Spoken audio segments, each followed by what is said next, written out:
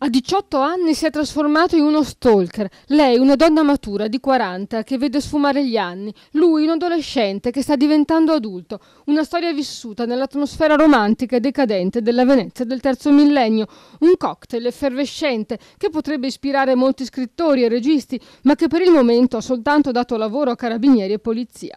Almeno da parte di lei, dopo un anno la passione è finita e il Toy Boys è diventato un incubo, una decisione unilaterale che lui non ha accettato accettato e per settimane ha perseguitato la sua ex amante con minacce e telefonate ad ogni ora, tanto da spingere la donna a segnalare il suo calvario ai carabinieri. I militari del nucleo Natanti lo hanno diffidato, ma non è bastato. E lunedì l'apice. Il ragazzo ha fatto irruzione nel negozio della vittima, mettendolo a soqquadro. Di più, cercando di devastarlo. Una furia incontenibile che si è sopita a fatica anche dopo l'arrivo delle volanti lagunari. Il diciottenne è stato quindi bloccato e portato in questura, dove è scattato l'arresto.